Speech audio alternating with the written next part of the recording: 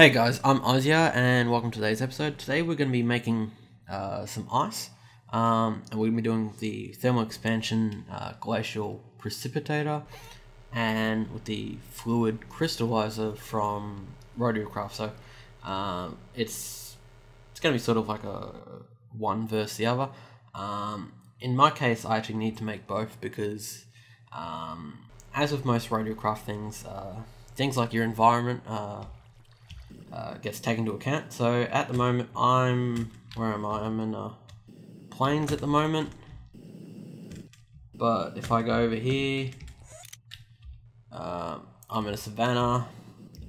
As you can see, most of the plains area is taken up. I could build uh, the glacial precipitator over here, but I don't really want to. That and there's less content for the video if I do it over there. But I'm going to do it over here. And um, so the ambient temperature of uh, the savanna and also things like the desert, the desert is uh, about 40 degrees or 39 degrees or so. Um, you also find the stuff in rainforests as well. So if you're in one of those areas, um, you can have a little bit of issue with the uh, fluid crystallizer. Since you need to get it down to minus 8 to freeze water, you're going to have to find ways to uh, do that. So the first thing we need to do is, strange enough, you're going to need some ice in the form of snow. So you can get some snow just by shoveling it off the ground. So I have to go and find that stuff. So everyone knows how to make ice. Pretty easy, four pieces of snow. Get two pieces of snow there. And this goes into making a glacial precipitator from thermal expansion. So you're going to need a machine frame, a gearbox, a redstone reception coil, and a copper gear. Two copper gears, mean. Machine frame in the center, gearbox at the top, uh, redstone reception coil at the bottom, and two copper gears at the car at the sides, the corners, I mean. And then at the sides, you put your snow, and you've got a glacial precipitator. Okay, so basically what you want to do is you want to just uh, place down so it's got power. I'm going to place down there. Power gets built up, yep. And let's go get some water. You've got to pump water into it or you can bucket it in. So if I get a bucket, I think I can bucket it in. I didn't test this beforehand. I just did it with the water. Let's see if we can just bucket it in. Bucket. Uh, can I bucket in?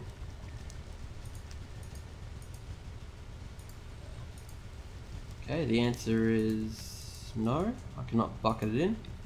I'd probably pipe it in. Let's get rid of this water first. There we go.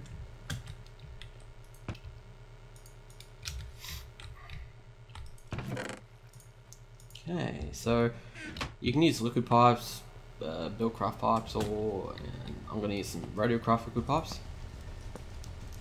And so as you can see the front's changed because it's got water and we're getting ice. Okay, so basically you only need one piece of ice. Uh, we're going to use the ice to cool down the uh, glacial precipitator. Uh, actually, we're going to need that bucket for later on. Because we're also going to need some water too. So need one bucket of water. Not from there, over here. Okay, water, there we go. Now, let us go on to making the glacial precipitator. So you're going to need uh, three cooling fins, and they're just uh, six um, shafts and three base panels, so they're pretty easy to make. Uh, so you need some base panels, an impeller, and two ingots. Go over to your workstation, put the cooling fins in a pyramid shape, base panels on the base, impeller in the center and the two last ingots in the corners. And you get our fluid crystallizer, which requires a minimum power of uh, 2048 kilowatts at 1024. So you can do that with uh, two DC electric engines um, if you have a four, 1 to 4 gearbox in speed mode. So it's pretty easy to have one of these things running. We're going we're gonna hook it up to the nuclear reactor, of course because uh, that's what you do when you have a nuclear reactor. You try and power everything by it, including the most silliest of things of all. Okay, so you're gonna need some cobblestone as well, or some kind of a structural block. Um, the idea is you're going to need to put the um, you need to put ice down, and you need to basically cover it up so it doesn't get a uh, how do I say melted? Yes, that's the word. Okay, so I'm gonna put the ice here, but first I'm gonna put the machine down. Um, ice won't melt, or it shouldn't melt if it's covered up. Okay, so that's facing the wrong direction. I want to go that way. As you can see, WAILA says it's 25 degrees at the moment and it's night time. You also notice that temperature is also dependent on the time of day. So at night time it'll go down and obviously when the sun's out, hotter and such. So what we're going to do is we're going to place the ice down there and see it's starting to drop temperature.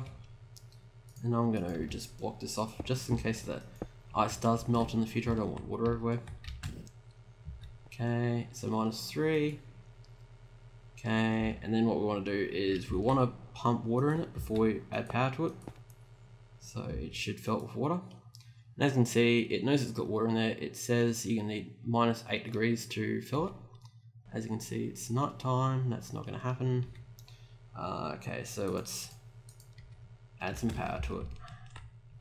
Whoop. Okay, there we go.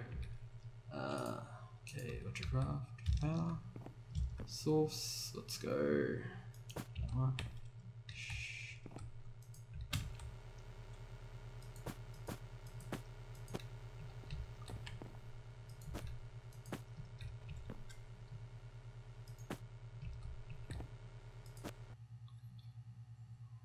Okay, how much power are we running to this thing? Operation time, 4.6 seconds. So we're putting in 83 million watts. That's way more than it needs. But who cares? Okay, so we right click on it, still need to get this temperature down. So what we're going to do is, actually we're going to um, pump the water in from the top because I want to use the side. Okay, there we go. Water in from the side. And this is where that bucket of water comes in, in use. Um, so we're going to just like that. And where's that bucket of water? Bucket of water in there. As you can see now we're getting down to minus 16, minus 18, Remember, minus 8 is the required one. I'm going to just chuck a cheat mode on here so I can get it to go daytime. So, so we can heat, it up and see what it's like. Okay, minus 10, minus 9. Okay, it's just there. So in the middle of the day, it will work. So you're going to need an ice block and... Ice block. Mm, I want one. Uh, after this, I'll go grow one. Um, okay, so you need to get yeah, gonna need to put water next to it as well, just to increase the cooling efficiency. Okay, so now that we've got that going, let us just automate this so I can get a whole chest. Uh, there, rotate, rotate. There we go. Chest. There. Uh, DC engine.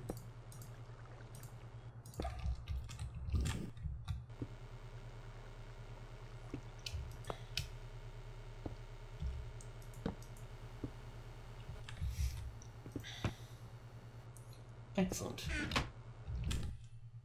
Okay, there we go. Now I can't actually look at the machine. Uh, wait, yes I can. From behind, I reckon. Whoops.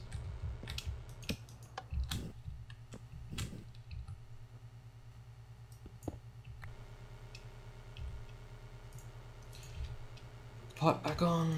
Okay, there we go. Eight seconds. Off.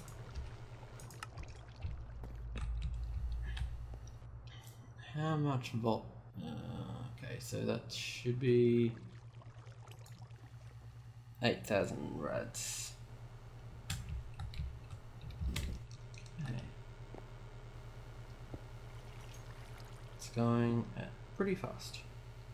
So, that's, uh, I think that's about it.